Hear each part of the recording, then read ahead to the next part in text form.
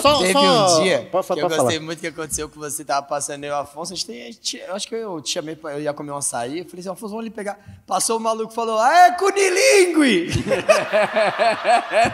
Cara, nunca é coisa. achava- Por eu causa do. achava engraçado, desculpa, quando a gente tava em alguns shows, principalmente no começo mais do Quatro Amigos, quando acabava a gente atendia a plateia pra tirar foto, né? Porque não existia corona, então a gente fazia questão de atender um por um Sim. naquela época. Mentira É do desculpa que a gente caralho. usa. Agora o corona salvou nós não mais tirar foto com ninguém. Aí.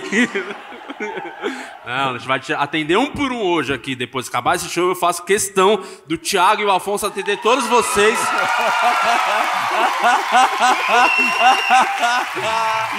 Mas nem que, ele- que precise que os dois fiquem até meia-noite aqui nesse teatro pra falar com um por um. Eles vão ficar em respeito ao nosso público. Eu, eu gostaria, não posso, eu tenho uma filha que eu preciso ir lá. Tal. Aí. E eu, o bar fecha às 10. É isso. Eu e o Márcio.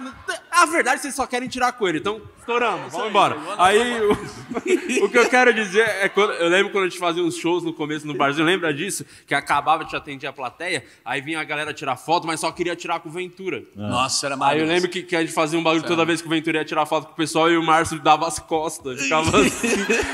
Eles ficavam de costa. Imagina eu com a pessoa aqui, os moleques na parede, a parede olhando pra trás, eles assim, ó. Aí eu falei, moço, olha o que vocês fizeram. E os dois rindo olhando pra parede assim. Não, outra coisa que eu vou falar. Quer terminar, termina? Não, eu ia perguntar só se já alguma vez o fato de como é, a gente é a gente é conhecido só por conta do nosso trabalho, não tem nada. E tem algumas pessoas, só que a gente levou sorte ou a gente publica o nosso trabalho e logo alguém vê. E eu queria muito que outras profissões fossem assim. Que seria do caralho. Imagine, a pessoa vai no, no pão de açúcar e fala: Peraí. Se não é o Demir, o caixa do pão de açúcar, você, fala cliente mais, fala cliente, posso tirar uma foto? Minha avó te adora, o jeito que você separa os frios dos produtos de limpeza. E eu só queria saber se alguma vez a, é- esse fato de ser reconhecido já ajudou em alguma coisa ou já ferrou alguma coisa vocês? Cara, uma vez eu ganhei uma sobremesa de graça no restaurante. Você ganhou?